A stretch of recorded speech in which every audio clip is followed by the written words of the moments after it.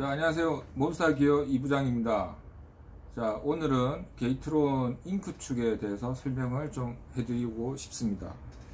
자, 오늘 도와주실 분은 어, 저희 몬스터 기어에 새로 입사한 어, 유대리가 이제 보조 역할을 해주실 거고요. 이제 앞으로 저 대신 어, 모든 제품에 대해서 이제 자세한 리뷰, 그 다음 이제 제품평, 그 다음 이제 몬스터 기어의 어떤 앞으로 제품, 신제품에 대한 동향, 이런 것들을 어, 소통하는 역할을 어, 위임할 예정입니다.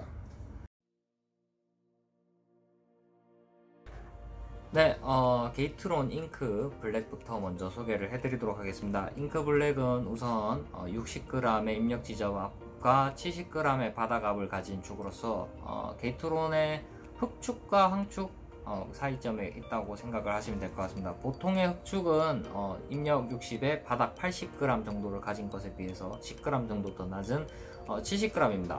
아무래도 가장 많이 custom이나 일반 user들이 이용하는 압력대인 70 언저리를 맞추기 위해서 어, 그렇게 조절을 한 것 같습니다. 어, 이 잉크축의 사실 가장 특징이라고 한다면은 게이트론에서 사용한 새로운 소재의 플라스틱을 적용한 축이라고 볼 수 있겠습니다. 하우징 전반에 있어서 새로운 소재의 플라스틱을 이용했다고 하는데 어, 해당 플라스틱이 어떤 소재인지는 게이트론 측에서 아직 밝히지는 않았지만 어, 때문인지 어, 뚜껑을 치는 소리가 상당히 저는 매력적이라고 생각이 듭니다. 또한 기타 어느 어, 특주축과 비교를 해서도 서걱임이 거의 안 느껴지는 상당히 매력적인 축이라고 생각합니다. 꽃보다 너무 이쁘게 생겼지 않습니까?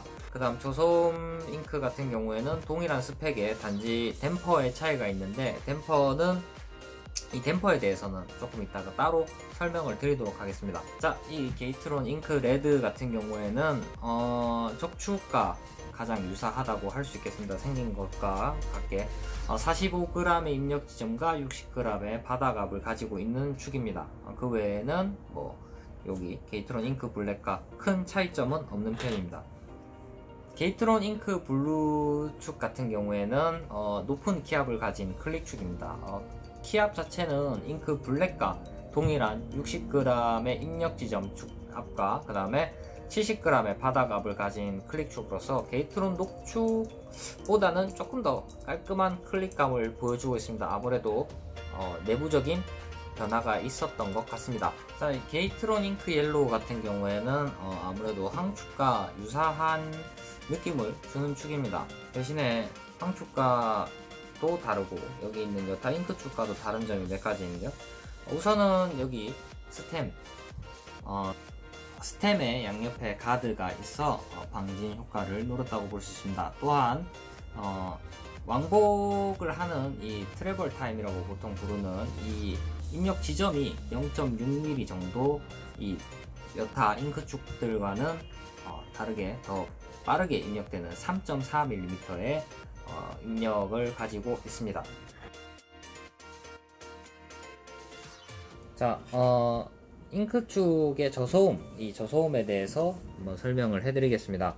우선 기존의 어, 잉크 축 스템을 보시게 되면은 어, 스템에 위에 부분에 아무런 어, 템퍼나 그런 것 없이 이게 일반적인 어, 스템의 모습입니다. 반면에 저소음 축 같은 경우에는 아, 자세히 보시게 되면은 이런 어, 하얀 색깔 실리콘이 어, 있어서 상부 뚜껑을 치는 소리를 어, 줄여주는 효과를 보여준다고 할 수가 있겠습니다.